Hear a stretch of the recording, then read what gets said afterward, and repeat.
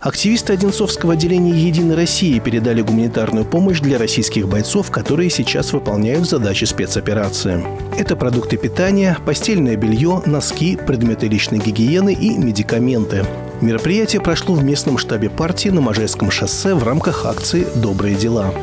За помощь в организации новой поставки исполнительный секретарь местного отделения «Единой России» Лариса Андреева поблагодарила первого заместителя председателя Мособлдумы Ларису Лазутину.